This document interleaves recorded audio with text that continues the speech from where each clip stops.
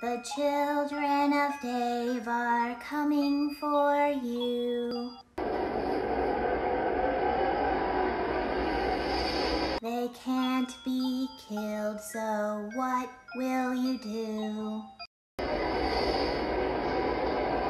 Ask for forgiveness and begin to pray. Please, please, Because you made mad.